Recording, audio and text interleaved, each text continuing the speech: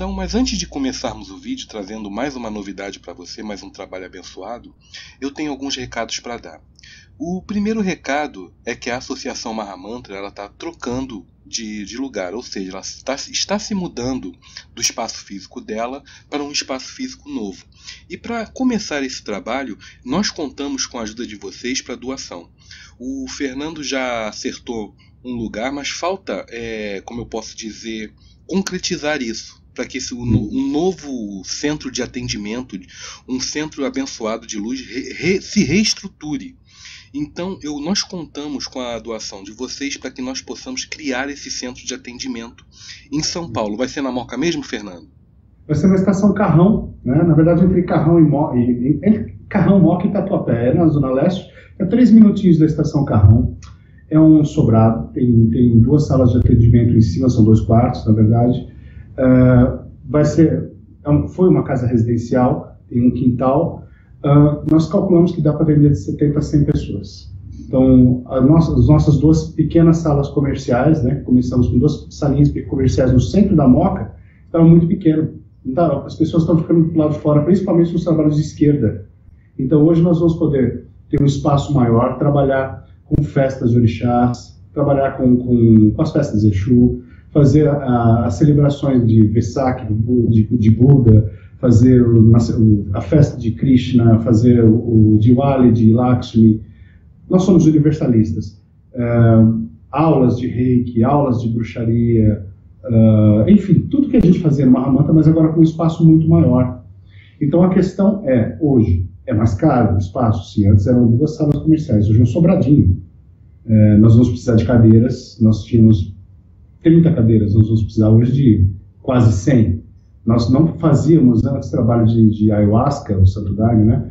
E trabalhos, trabalhos xamânicos não estavam sendo feitos. Hoje nós vamos trabalhar com jurema, né? Então, existem, existe toda uma, uma, estrutura. Nós vamos montar dois banheiros do lado de fora, uh, vai ter uma cozinha, vai ter uma lojinha, vai ter várias coisas uh, que as pessoas vão poder se envolver com, com, a, com a filosofia Mahamantra. Aliás, como diz o pai Joaquim, nos momentos que ele estiver trabalhando, ele vai se chamar Casa Nossa Senhora do Rosário.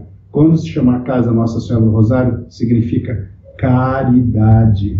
Então, como ele diz, Senhora do Rosário foi quem me trouxe aqui, a água do mar é santa, eu vi, eu vi, eu vi. Quando o pai Joaquim trabalhar, e quando nós trabalharmos na caridade, não será cobrado nenhum tostão.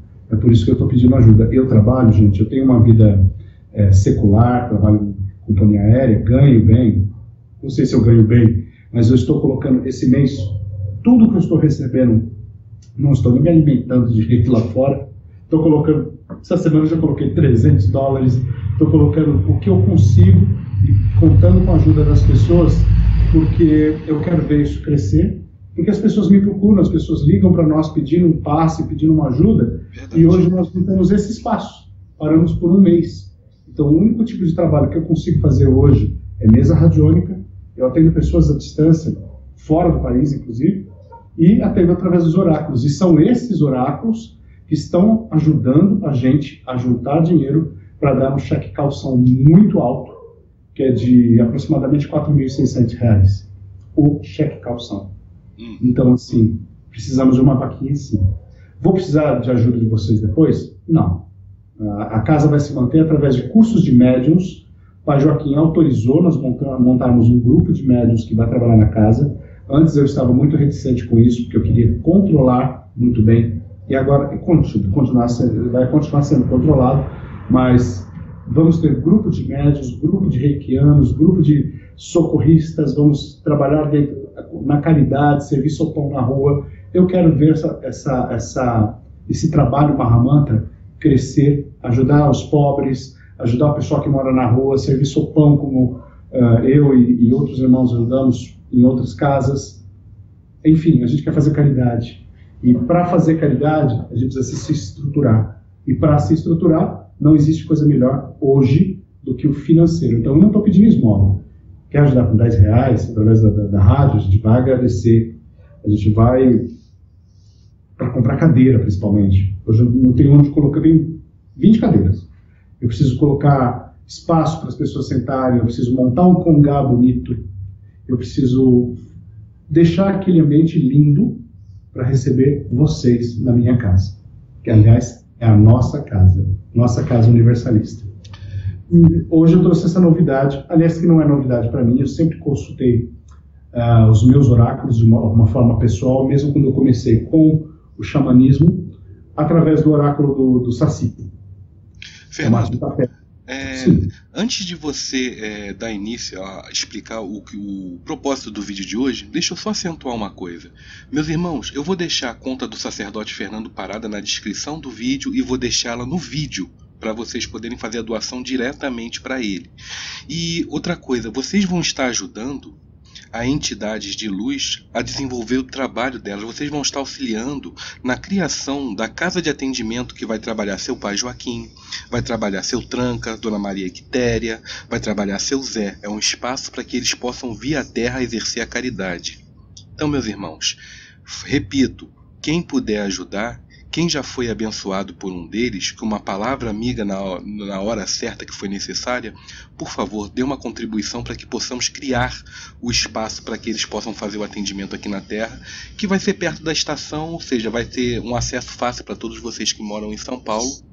E, é, três minutos no metrô. E para todos vocês que moram fora do, do estado de São Paulo, os atendimentos continuam é, via internet e a palavra sempre vai ser passada aqui na Rádio Reforma Interna de uma forma gratuita para vocês. Tá bom, meus irmãos? Fernando, desculpa eu ter te interrompido, por favor. Não, eu que peço desculpas. Inclusive, quem fizer uma doação, se quiser colocar a. a... Manda uma mensagem para o nosso WhatsApp. Eu vou mandar uma mensagem de gratidão. É enfim, vamos manter contato conosco. Com, com, eu tenho certeza que o Pai Joaquim vai abençoar, seu tranca a rua de sua forma irreverente, vai agradecer, porque é para vocês. Não é para mim. Com certeza. E também avisar que esse vídeo, a imagem não está muito legal, porque nós estamos aonde, Fernando? Estamos em frente aonde, né, para gravar esse vídeo? Eu estou na frente da minha tronqueira. eu desci aqui na minha. Essa aqui é a minha varanda, né? Ela é em cima da minha casa. Essa aqui é a minha, minha varanda onde eu venho relaxar, que coloco minha, minha minha rede, mas ali eu tenho minha tronqueira, acabei de acender minhas pólvoras, colocando, fazer minhas padês. Então aqui é onde eu venho fazer as minha, meu contato com os meus, a minha esquerda.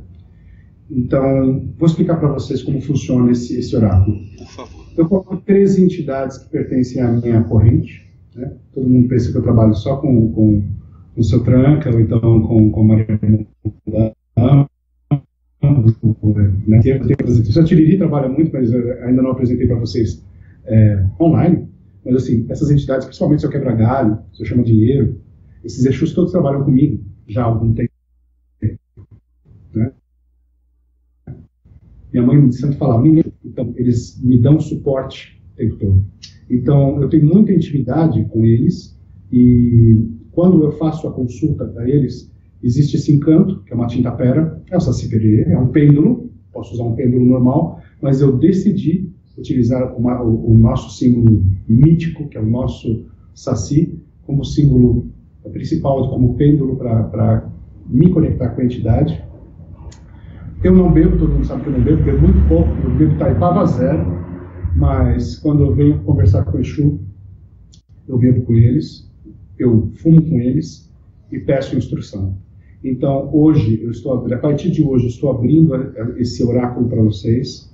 Venham de uma forma muito séria quando vierem até mim pedir esse oráculo, porque eu só vou atender à noite, depois de acabar todo, toda a correria da rua, depois que passar, depois das 10 da noite, que é quando eu vou pagar a minha luz, quando eu vou me conectar com a minha, com a minha esquerda, e é quando eu vou beber, fumar não vou trabalhar incorporado, porque eu, eu não, não, é que eu não concorde, minhas entidades não concordam, por enquanto, o Pai Joaquim fala que se eu começar a trabalhar incorporado atendendo online, eu não vou dar conta, eu não vou conseguir mais ter o meu outro emprego, que é voar.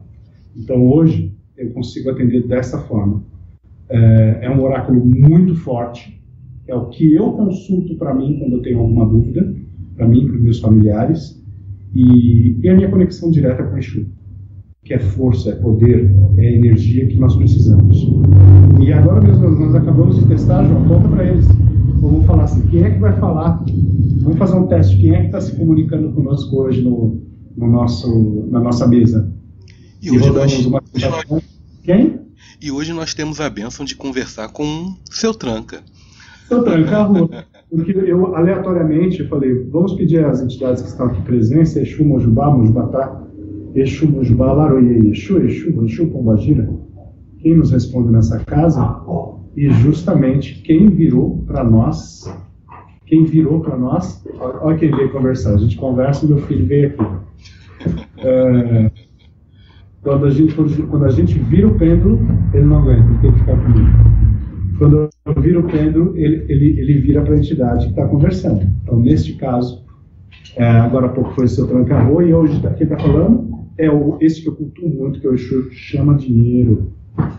O Exu chama dinheiro, ele é conectado diretamente. Todo mundo sabe que eu mexo com bruxaria, certo? Também. E a deusa que eu cultuo dentro da, da, da, da Wicca, dentro da magia natural, é a deusa da, da riqueza, é a deusa da, da, prosperidade, é a deusa Deméter, representada pela cornucópia. E justamente eu chamo dinheiro. Pode.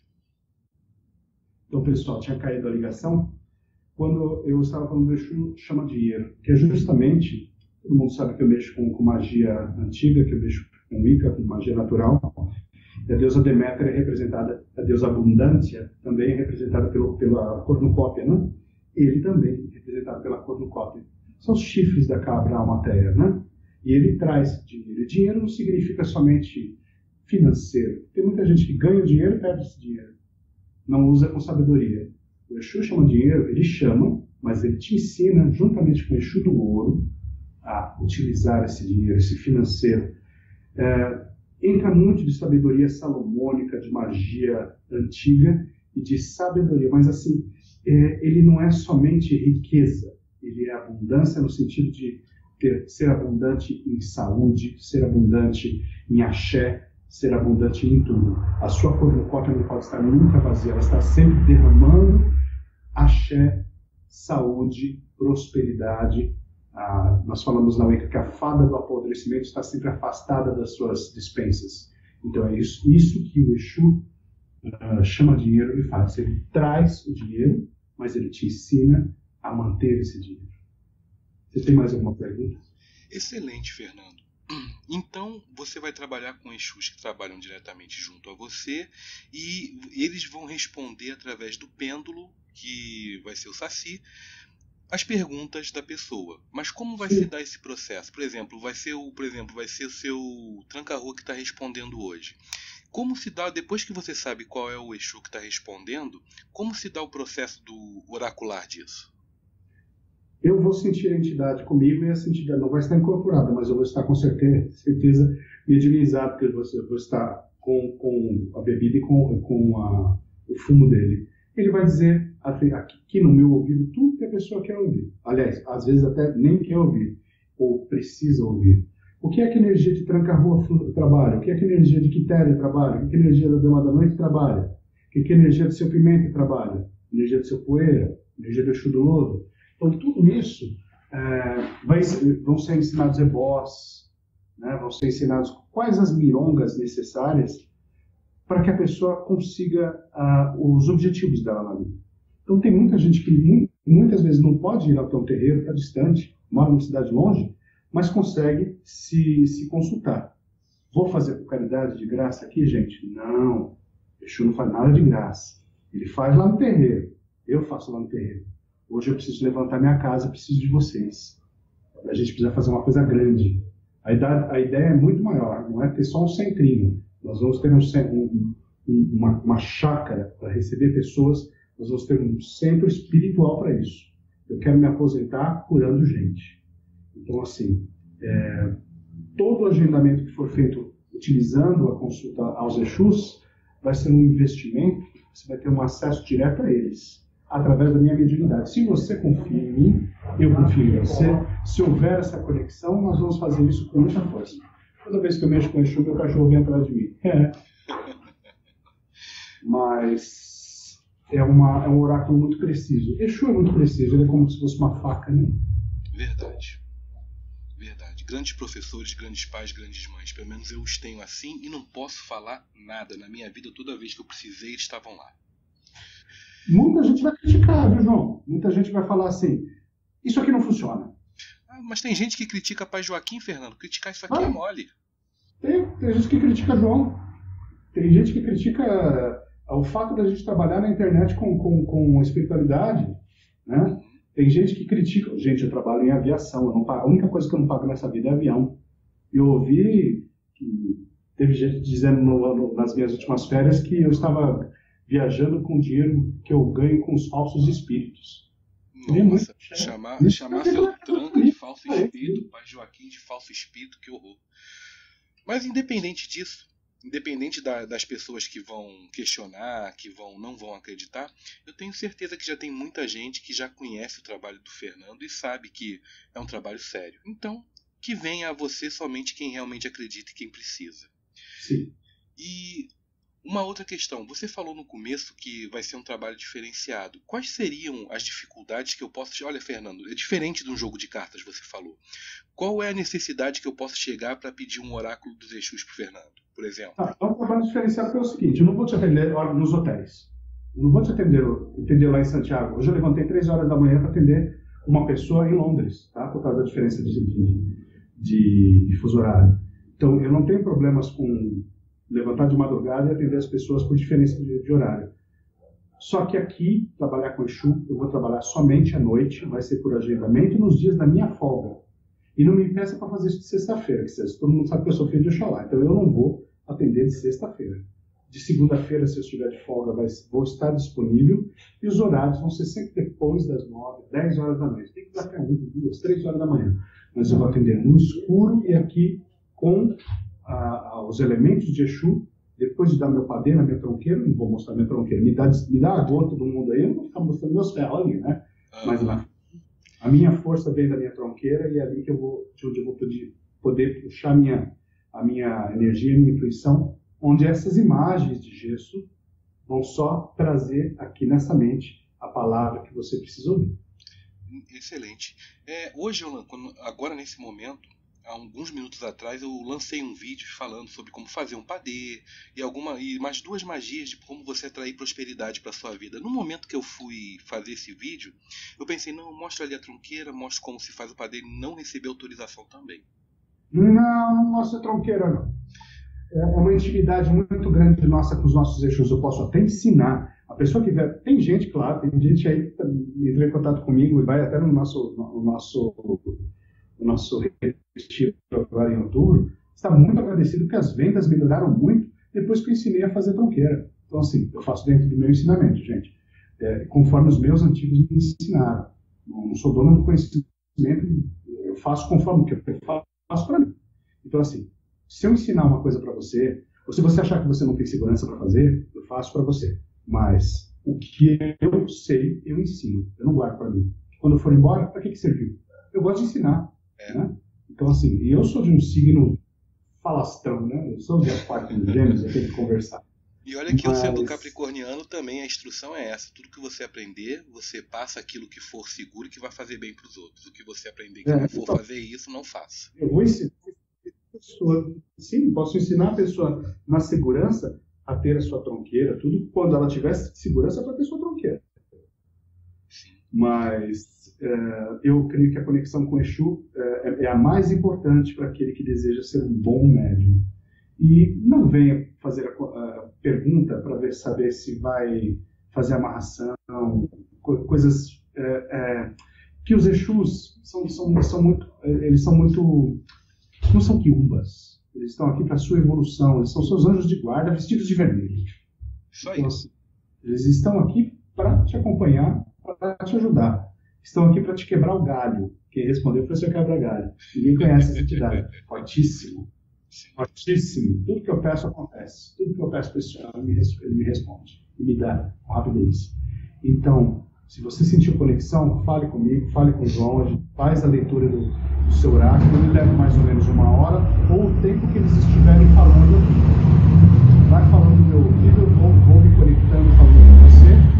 Não é um jogo de buço, não é um jogo de cartas, é um jogo de conexão espiritual onde eu uso esse tabuleiro Ouija para falar com, as, com os meus mentores e falar com você da forma que eu puder esclarecer naquilo que você é, precisar saber nas suas questões pessoais, etc., negócios, investimentos, tudo que você, tudo que você precisar de Exu, eu vou te ensinar se eu souber. E o que eu não souber, eles sabem. Eles ah, fazem fazem coisas que eu não sabia. Inclusive, tem uma coisa de. Seu Tranca está batendo na minha cabeça aqui sobre coisa de espelho que ele quer falar com você. De espelho? Mas, é, mas ele vai falar com você em Nova York. tem muita gente que diz que espelho é quizila de Exu e que espelho, espelho dá azar. E ele passou por o seguinte: dá azar para aquele, para aquele que estava servindo o senhorzinho. Né? Porque ele vai sofrer porque vai ter que pagar por aquele espelho. Mas o espelho é um dos principais instrumentos para você se ter um autoconhecimento. Tanto que Iemanjá usa o espelho porque ela, ela, ela tem que se espelhar dentro da família espiritual dela. E o Shun também ela tem que se espelhar dentro da riqueza dela. E a melhor forma de se conhecer é através do espelho. Se eu pudesse, eu catava cada um desses aqui e colocava no espelho. Porque todos nós temos Exu dentro de nós. Isso que seu Trancavó falou para mim hoje. Aqui na minha mente. Mas eu convido todos. Não vou convidar todos. Convido aqueles que quiserem, aqueles que puderem, é, nos horários que eu puder. À noite, a gente pode marcar vai ser um oráculo que eu vou abrir, não é o mesmo preço dos búzios, não é o mesmo preço da mesa radiônica, é um preço razoável, todos podem pagar, mas eu faço com muito carinho, faço medianizado e tenho muito desgaste por isso, mas eu vou fazer com muito amor. Eu, eu faço para mim, para minha família, eu vou fazer para vocês. Que vocês são minha família espiritual e eu vou dizer uma coisa para vocês. Como eu sou feliz depois que eu comecei a trabalhar com você, João. E também com o Jefferson como eu sou feliz depois que a minha espiritualidade veio a se expandir dessa forma. Porque antes eu era um, eu era um médium que atendia poucas pessoas e hoje eu, tenho, eu fico agradecido com a quantidade de pessoas que me procuram e falam assim: muito obrigado. Eu ouvi a sua entidade e naquele dia eu não fiz uma bobagem porque eu ouvi o conselho do seu Exu. Eu não fazer isso. Olha, Fernando, é gratificante ouvir isso vindo de você. Muito obrigado por compartilhar comigo isso. Também sou muito feliz. Minha espiritualidade evoluiu muito também depois dos contatos que tivemos. E eu queria que você só abordasse agora uma questão de que a maioria das pessoas não conseguem compreender. Quando nós vamos fazer um trabalho para alguém, vamos fazer uma magia para alguém, é, nós temos o que nós chamamos de rebote. Por isso que tem o desgaste. Então, uhum. Eu queria que você me auxiliasse, porque algumas pessoas não entendem que quando fazemos, fazemos algum trabalho para elas, nós puxamos muito da carga negativa para tornar a vida dela melhor, fora a energia de manipulação do trabalho. Uhum. É o preço que a gente paga. É né? verdade. Muitas coisas o dinheiro lava, sim. Ah, eu paguei por isso aqui. Mas ninguém sabe o que é chegar. Eu tenho um exemplo disso. Ontem, eu saí para trabalhar uma hora da manhã, João. Você sabe que hora que eu consegui dormir? 10 horas da noite. Porque são, muitas pessoas ligam diretamente. Né? É um prazer atender gente, principalmente o pessoal do, dos países de língua portuguesa que me procuram. É um prazer atender é, todos vocês. Mas o telefone não parou ontem. E ontem era um dia que eu estava desgastado. É um dia que eu precisava respirar. Ontem eu não conseguia atender ninguém. Hoje eu cheguei, estou é, fazendo essa gravação com você. Não jantei ainda. Daqui a pouco eu vou jantar amanhã, sete horas da manhã, eu começo a atender as pessoas, eu tenho ebócio para fazer, eu tenho que me tratar, eu comprei ervas para me cuidar, eu tenho incenso queimando, acabei de estourar minhas quê? Porque a gente pega energia, além de pegar um pouco do karma da pessoa, é o que sobra para a gente. A, a faxineira, quando vai fazer a faxina, ela sempre se suja um pouco. Então, a mesma coisa. Mesmo à distância, a gente acaba pegando um rebote. Então, às vezes, quando o médium se cala durante um dia ou dois, é porque ele está se tratando. Né? Graças a Deus eu não tenho ficado doente agora. No começo do meio do ano, é uma coisa atrás da outra, porque é uma quantidade de energia muito grande que a gente manipula. Né? Não é que nem médico. Né? Tem uma hora que o nosso corpo espiritual começa a pedir mais ajuda. Então é normal que um terapeuta ajude o outro. João já né? Eu busco refúgio, eu busco refúgio nas minhas plantas de poder, na ayahuasca, no budismo, quem me conhece sabe que eu vivo, vivo dentro de templo. Eu não vou para baile funk, mas eu vou para dentro de templo pedir forças. É lá que eu me reenergizo para poder cuidar de quem me procura depois. Mas o rebote energético existe sim. E a gente vai, toma um banho, relaxa, descansa um dia e volta novamente no outro dia. A gente, nós somos fênix, nós estamos sempre renascendo. Verdade. Fernando, muito obrigado por compartilhar esse trabalho conosco, esse, esse trabalho que é novo para nós, mas é questão de consciência, é questão de entender como nossos guardiões e guardiãs estão sempre atuando de várias formas e como a mediunidade ela se mostra diferente para cada pessoa e como médiums podem se ajudar.